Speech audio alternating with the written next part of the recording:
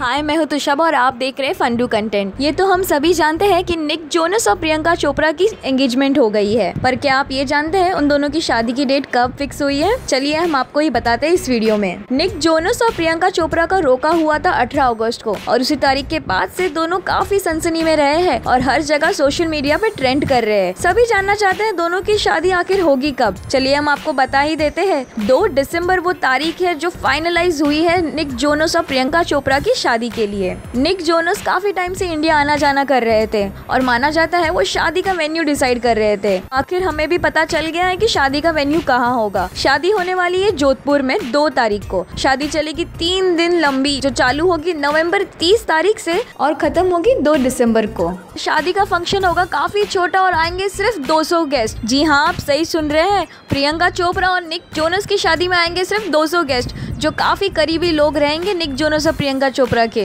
हम सब दोनों को शादी के बंधन में जुड़ते हुए देखना चाहते हैं और हम दोनों को खूब सारी बधाइयाँ भी देते हैं आगे ऐसे ही अपडेट्स के लिए बने रहे हमारे साथ फंडू कंटेंट पे अगर आपको ये वीडियो पसंद आया तो इसे लाइक करिए कमेंट करिए और शेयर करिए और सब्सक्राइब करना भी मत भूलिएगा